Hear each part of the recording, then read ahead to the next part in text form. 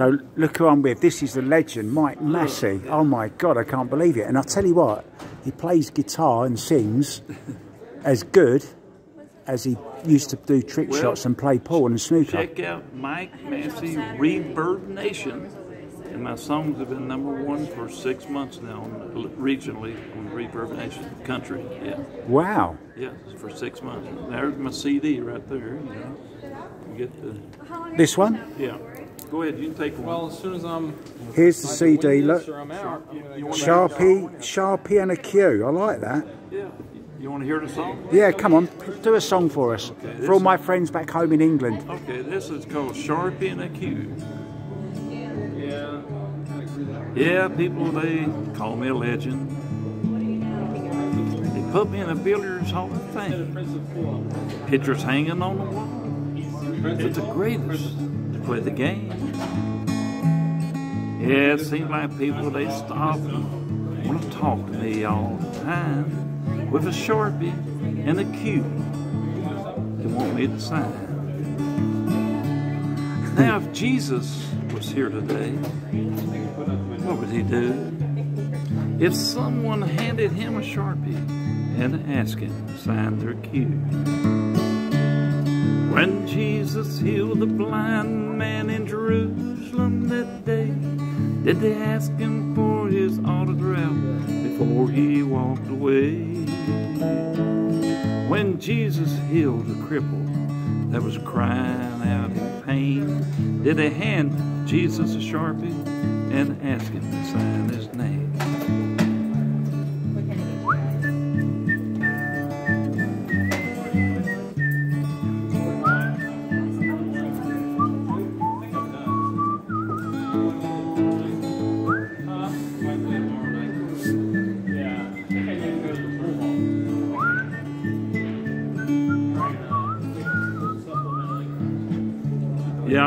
This world with a cue stick in my hand, talking about my Savior that died and rose again. And the greatest satisfaction's not from the autograph that I sign, it's when I put Jesus loves us always in front of mine. When Jesus healed the blind man in Jerusalem that day, did they ask him for his autograph before he walked away? When Jesus healed the cripple that was crying out in pain, did he hand Jesus a Sharpie and ask him to sign his name? You know, Jesus, he turned the water into wine, took the darkness from the blind. If no one asked him for an autograph, why did they ask me for mine? Oh, how lovely is that? That Mike Massey, thank you so much, mate. Thank you so much. That was brilliant. Thank. Oh, God, not only a great, great trick shotologist, a great, great snooker play, made a, what was your highest break? Well, I ran. I had three centuries one day, in Canada I was playing up there, and, and uh, but I had uh, uh, a '93 break in that Masters on the TV table, and I never had played on six for twelve. Very, very few times, you know, I played on six for twelve. I played uh, Jimmy White uh, in 1980. I was in Saudi Arabia, and I stopped off. I gambled at that time. I stopped off in uh, England. They said they had some pool action there. Right. And I couldn't find a pool table except the English pool table. So I walked into this big, big building, snooker hall, and I said, "Is anybody in there gamble? You know, at, at pool?" And they said, "No, but somebody come in." So Jimmy comes bebopping in. This is before he turned pro. He's like 17 years old. You know. Yeah. He said, "Hey man, you want to play some uh, some pool? You know, I mean some snooker." I said, "No, but I play some pool." He said, "There's no pool tables, and there's one way back in the corner." You know. So we go back there. We play nine ball, and I beat him. It was on a little, little one of those little tables, you know. It's, yeah, But six then we three. went to Northampton the next day, and uh, he annihilated me on a snooker table. I had no chance at all. and we became friends though. But we that's back when Wally West and Henry. That's when Henry West was the agent for some of the Yeah, players. yeah, yeah. He had his own room. We go over there, and Wally West was this barrel-chested, you know, guy and stuff. So we got over and I was doing trick shots, and they ended up that Wally West I ended up arm wrestling. You know, and I'm, you know, I'm pretty strong. This guy, Yeah. he, he, took a, a London book, a London Telephone phone directory. book, Yeah. phone Um, book. Listen to this. He took a London phone book, yeah. tore it in half. Yeah. Took the half and tore it in half. Took the quarters and ripped them in half. No. That's how strong he was. Wow. But he couldn't put me down arm wrestling.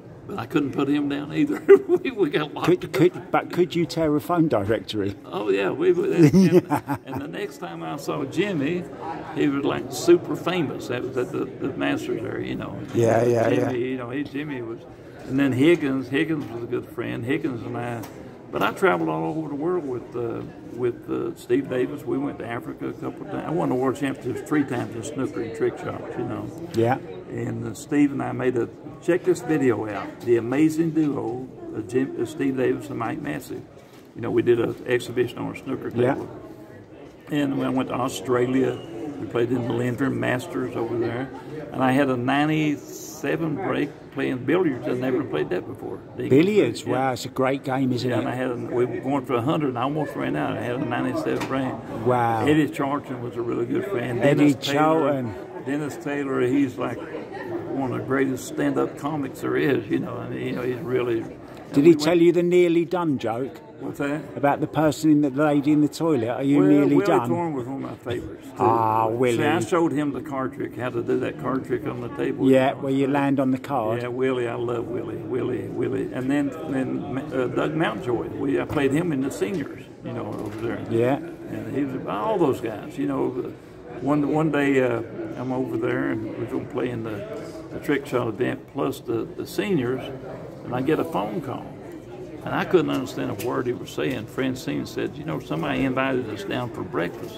We don't know who it was, and it was uh, Terry Griffiths. You know, because you couldn't. Oh, Terry, phone, yeah. I couldn't understand him. You know? I'm in the final now, you know. and Terry, He yeah, talks funny, yeah. doesn't he, Terry Griffiths? Terry and, Great uh, coach, by the way, Terry Griffiths. And then Cliff Thorburn, you know. Yeah, yeah. And then, uh, you know them all. You, Oh, you should write a book. yeah, well, I played in two of the Mosconi Cups too. You know, you know I've, I've seen you in one where you played Alex and Jimmy. well, yeah, they, I saw that. I watched that the other they- You day. know what happened that time? Go on. We tied. That year, this is Corey. The first year I played in the Mosconi Cup, we tied. Yeah. They played a one-game playoff with Jimmy White and and uh, Lou Played a one-game. Lou Butera, yeah. Jimmy beat beat Lou. And the next year we won, and I won a crucial match against Ronnie O'Sullivan. You know. Wow, you've, you've lived a life, haven't you? Well, I spent three weeks with Ronnie before he turned pro in Switzerland. We traveled all over Switzerland playing and stuff, you know.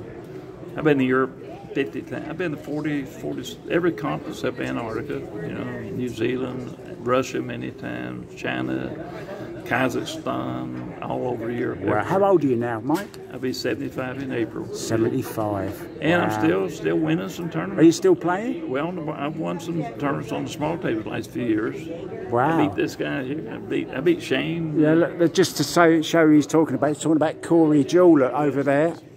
Yeah. The man that me changed tell you a story the man Corey. that changed break Hey, Corey. breaking forever.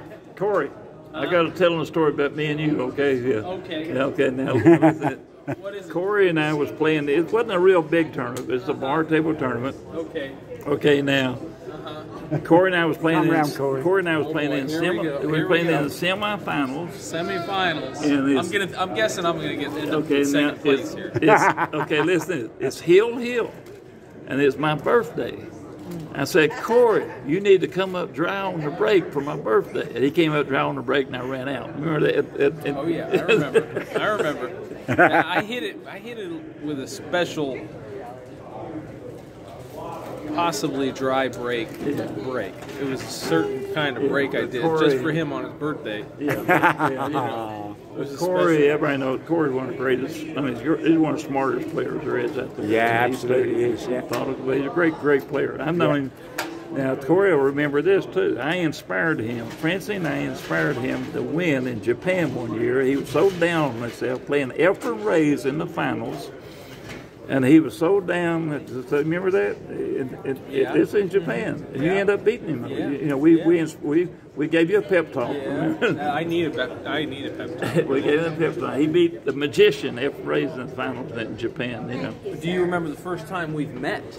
When you was 14, about 14, that was at the round when he won when you won the juniors was the first time on that round table. I think I may have seen you before because you. It was in Philadelphia. You were at Petey's room doing an exhibition. You were doing maybe. the finger Oh pool. yeah, yeah, yeah, yeah. And I think I went up there to rack the balls Oh okay. for like a, one of the one of the players, yeah. you know. And they said, "Hey, come in to rack the balls." And I, I stuck the balls in there. I went to try and get them real tight, and I pushed too hard, and they all popped up in the air. Well, you know, when I first started going to Europe, was in the in the late 70s, and you couldn't find a pool table hardly in Germany unless it's a bar table in, in one of the, the, the bowling alleys or something. Yeah, yeah. And at that time, Sweden had the best pool players because Sweden was the first really country that started playing pool in, over in Europe. You know. Okay. you know, and uh, like, uh, you know, and now they got great players all over Europe. You know, I went over and taught the train, Jurgen Man, Sandman's training camp twice. I taught training camps in Austria. You know, and, We can't talk about European players when Corey's here. Oh, they're great. yeah, I mean, they they got. I was over uh, two year for the European Championships uh, in Italy a couple of years Actually, ago. let, let me ask you a question while I've got you here. You, we've just had the 14 1 championships, Yeah. the American 14 1 championships, uh, an all European domination again. Why is that? Well, Europe, Europe, no, Europe, yeah, in Europe they play more straight pool. Now they used to maybe more than they do in America now, you know, because they have their European, you know, they get, got the European championships, you know, straight pool, you know. These, I haven't upset Corey, have I? No, no, no. No, okay. But they've always see see in Europe they played they always played the European championships and stuff, and they had these tournaments going. At one time, Oliver Ortmann was considered probably the best straight pool player in, in, in, in Europe at one time, Germany, you know. Yeah. And then Ralph, uh, I mean uh, Thomas Engert ran a 492, you know. And, uh, Wow. What's yeah, your highest straight pull? I've run 200 something a couple of times. Yeah. Do, do you think the 626, is it, will be ever be beaten? There's only there's a few players I could see possibly could beat it if they really did, but it boy, it's going to take a lot of desire and everything. And but for him, just think about. It. I mean, you get up there, he's had eight 400 somethings, you know. Yeah. And you could just think about it, you have a good day, you run- ran 300 something, you stand the ball, something happens, stuff, you know. But to have the heart to do that, to keep doing that, you know, you, you tried it two months in a row, you know. Yeah. And I could see Thorsten has the ability to do it. Yeah. Filler has the ability to do it, you know. But for them to play all day long, you know, and shoot that and do that, you know. Now, when I was young, now I don't think I could have run to 626 and 26, but I have one record I wish somebody would try to break. And that's playing the Ghost nine ball. Right. You know, I had 330 breaking runs playing nine ball, playing in a 24 hour period. Yeah. And that was in 300 and- Austria- and 20. Wow. Yeah, 320 breaking runs, no combinations on the nine, no nine balls on break. Had to be clean runs. And that was in Austria, live TV, and everything. That wasn't consecutive now. it wasn't consecutive. No, no, no. But I had Bet in, 330 bet in breaking 24 runs. hours. Yeah, 330 breaking runs, yeah. And that was in, in Austria. That was quite a few years ago. And, and I'm really proud of it because they said it helped Austria. See, at, at that time, the billiards was getting 90% of the money from the government, and pool was only getting like 10%. They said after I did that, they saw pool as a sport more, and they started. And now look at 50-50. Albin Ouschan Yeah. Oh, yeah. from yeah, Austria yeah. and also Jasmin. yeah, uh, Jasmin, and Ja- now she's dancing. Have you ever been up? Would you go and dance with the stars? Well, I knew Jasmin when she was this high, Oh, running around the table, drawing her ball to foot. She was eight years old. I mean, Really? Yeah. Gerda, when my first run of, of 217 was, was I was playing Gerda in, in Sweden, and she had her high run on me at that time was 58. You know, and uh, Gerda Hofstetter. You know.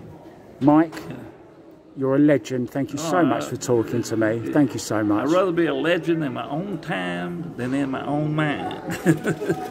You're a legend in all of our minds in the UK. Thank you very much. Europe, I, I love going there. Barry Hearn's been really great for the game and stuff. You know, his things and stuff. And uh, I used to I used to go over a lot. You know, but uh, you know, I'm older now. And see, the, this body. See, see the outer man.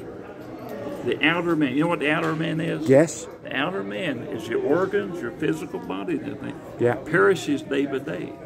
But your soul and your spirit is going to live, your soul is going to live forever. See, and Jesus has already took your death. That's the whole. So the message of the Bible is so simple that we were born sinners. We didn't choose, right?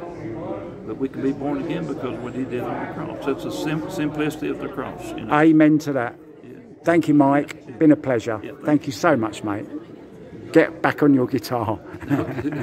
Go on, play us out with a little tune. Just play us out with a little bit of music.